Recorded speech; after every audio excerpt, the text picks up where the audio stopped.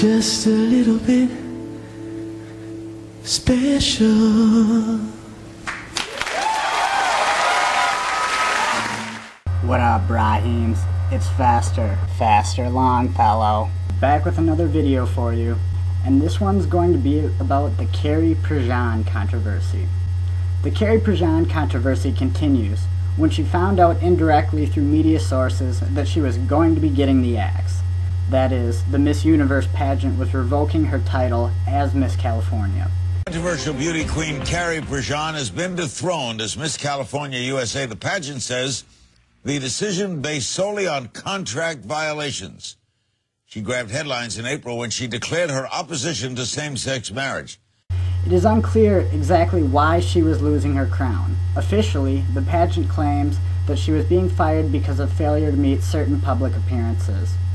One of these suggested appearances was to attend a gay movie premiere, perhaps suggested for her to gain favor with the homosexual community, which she had offended by her answer to a pageant question in which she stated her personal belief was that marriage should remain a union between a man and a woman. Although to sugarcoat her answer any more than she already did would have been a physical impossibility, gays and people in support of legalization of same-sex marriage were outraged sparking thousands of hate blogs and anger videos condemning her for her statement within hours of the pageant's television broadcast. These included a series of rants by celebrity blogger Perez Hilton, so juvenile they could only have been made by the man who makes a living gossiping like a 12-year-old girl. What a fucking bitch.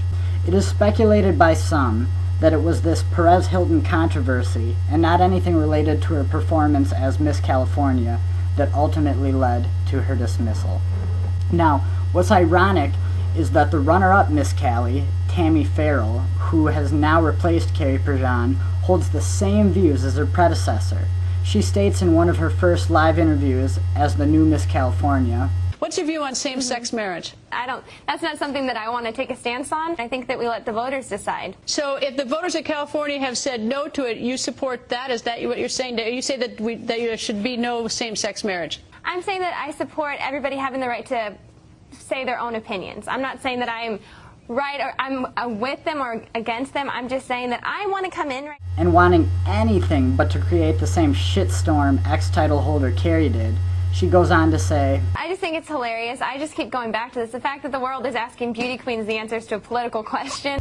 Now, I don't personally have a strong opinion on this issue. That is, I don't particularly support nor fervently oppose legalizing same-sex marriage. What I can't stand, though, is the ignorance and the double standard with which the situation is treated. I respect your opinion, even if I don't hold the same views. If you want to debate, that's awesome. If you can make some legitimate points in favor of same-sex marriage, for instance, 1. The times have changed since marriage laws were first created. Therefore, the laws should be changed or amended to keep with the times and the current values in today's society. 2. Legalizing gay marriage would be good for the economy. For example, a boost in the floundering housing market due to newly married gay couples wanting to buy homes, buy vehicles, extravagant weddings, ceremonies, etc. 3. Gay marriage may increase adoption rates, placing many children in two-parent homes instead of single mother or foster care scenarios. This would most certainly be a good thing, since it would A. lighten up the staggering welfare bill, and B. It would also lead to a decrease in crime, as children in single mother homes are about 10 times more likely to commit crimes, to use illegal drugs, to run away from home, to commit suicide, to do time in prison, or to become single parents themselves, etc., etc., etc. What I don't respect at all is the way most people can't seem to do this.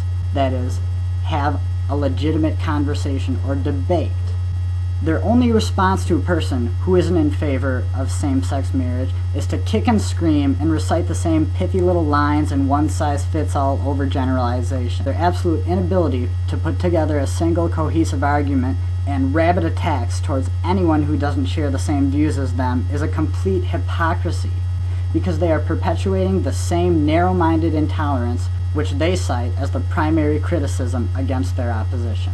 I do feel bad for Carrie Prejean. Because I do not feel she in any way brought this upon herself. She didn't use hurtful or bigoted slurs. She didn't even suggest that what they do is wrong or displeases her.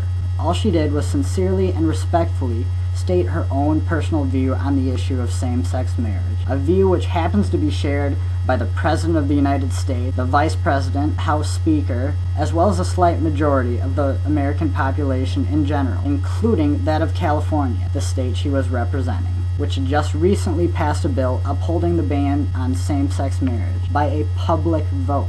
Also, we know little about this new Miss California, other than that she too apparently hates gays. That is, she admits in an interview that she holds the same views as Carrie Prejean, and that she's not nearly as good looking as her senior. So after all this ado about nothing, what really changed? We just got another bigot pageant queen who's just not quite as hot.